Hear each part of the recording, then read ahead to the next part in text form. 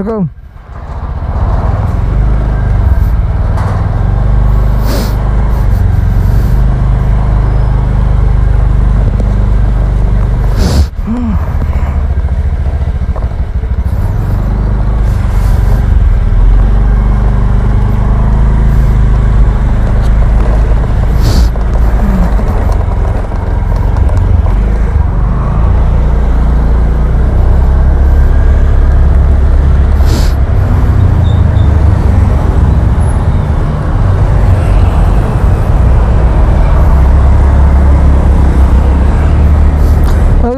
Welcome back my channel Artra Sider The Daily Vlog. Oh, pada Wow, pada kali ini cuaca sangat dingin banget teman-teman. Ini saya ya biasa Apa Perjalanan pulang mau ke Surabaya nih. Ini saya start jam setengah enam teman-teman. Rencana sih mau pulang kemarin karena berhubungan cuaca lagi hujan saya memurungkan diri untuk pulang hari ini teman-teman. Pulang besoknya maksudnya.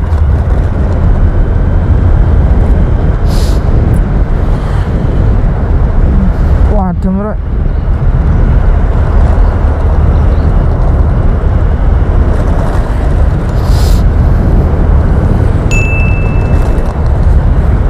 Sekarang naik Scoopy dulu teman-teman. Karena apa ya GL lagi ada masalah. Bukan pada mesin ya cuma apa kena koneksi ngono loh kayaknya sih tambah parah. Jadi mending tak servis dulu aja lah daripada ada apa-apa. Terus skok ngarepe bocor sebelah kiri. Awalnya saya gak neman karena mungkin gue nak toreng semenep kemarin tuh jadi tambah nemen kata nih Ale di jarno jarno sih mendi apa ya di AC sih sing berat loh.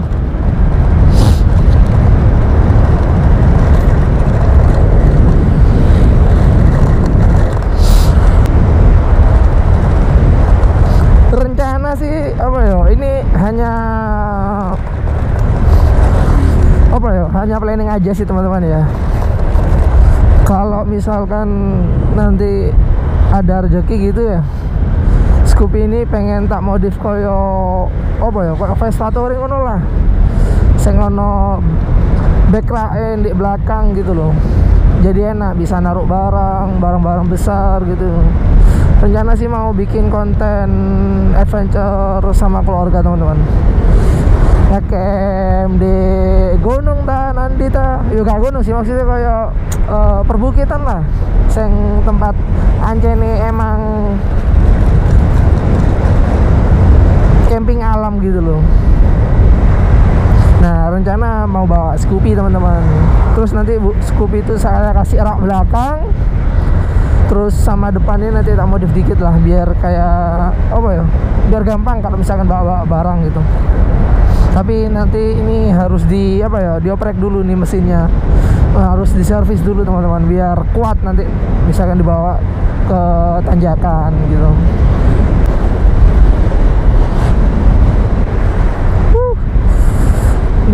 teman-teman. Aku tahu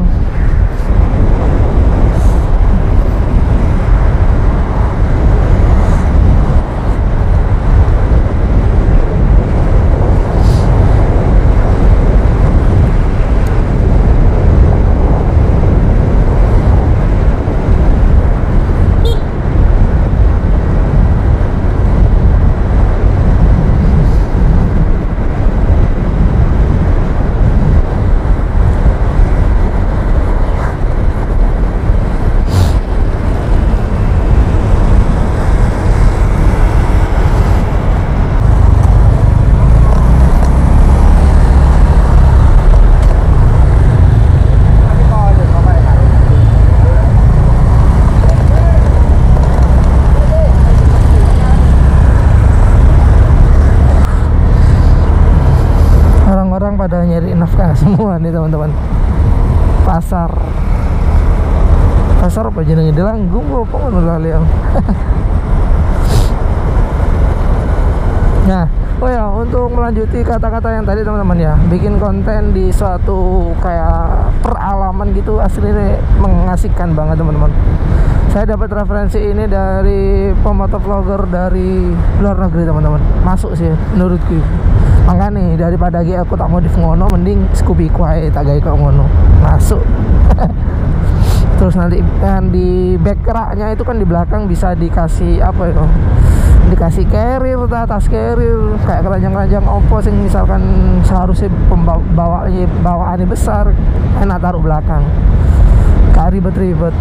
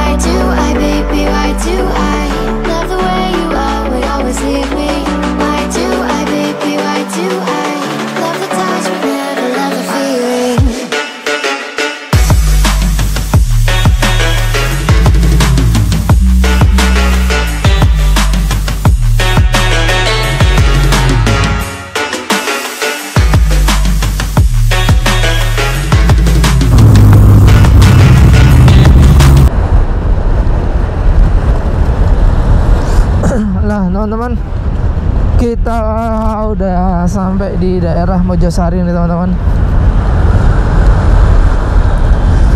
Uh, kendaraan mulai padat banget nih teman-teman. Udah mulai banyak. Waduh ada Vespa gembel nih teman-teman. Sak norek ini biasa tekan dinding ini. Lega icen berarti wong loro. Kadang ini gak dikei ambek wong-wong ini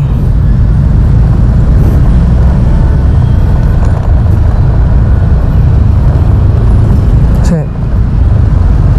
tak golek selasi kayaknya isa norek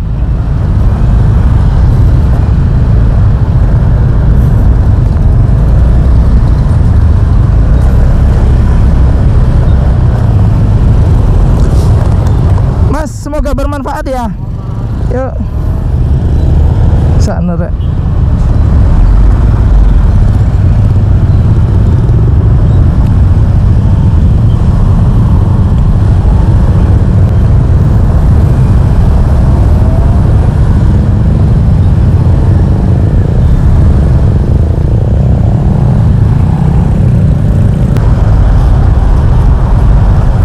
Nah teman-teman buat kalian kalau misalkan lihat Vespa gimbal seperti itu teman-teman ya sebenarnya kita ya apa ya kasihan gitu loh teman-teman. Karena apa ya masih awak dewe beda rangka gitu kan tetap rasa rasa riding bareng itu rasanya kayak tiba-tiba muncul gitu teman-teman.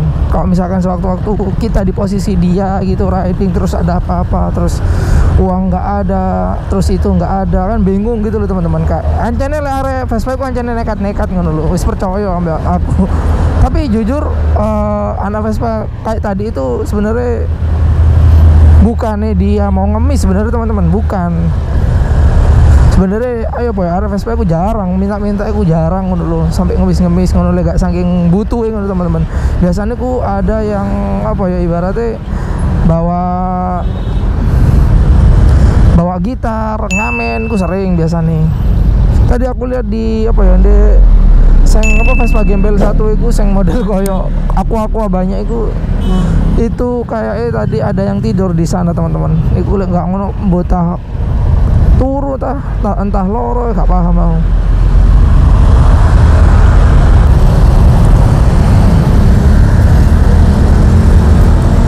gitu itu kasihan teman-teman karena banyak kan orang menilai wah gelandangan rek. Wah tatoan wah nakal. Itu sebenarnya kasihan. Kalau orang yang paham orang seperti itu itu nggak harus dipandang sebelah mata teman-teman gitu loh sebenarnya arah-arah kayak ngono jauh lebih api ya nggak sih? Daripada orang-orang yang berdasi teman-teman.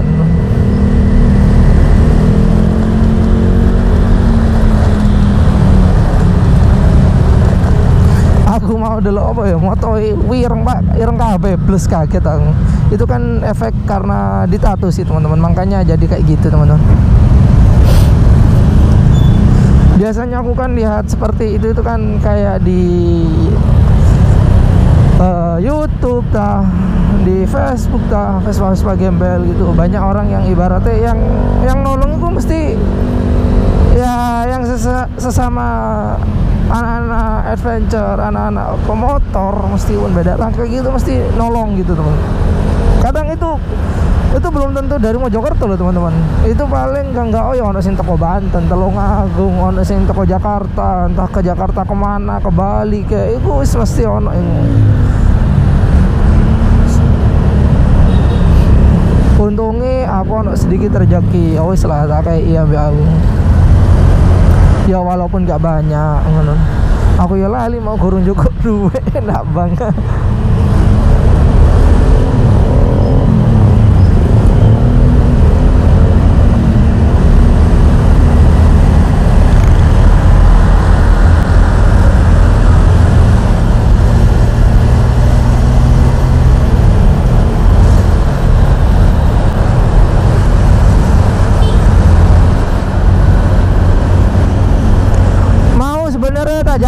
ngobrol cuma cuma brengsek wong kira rempet-rempet gawana loh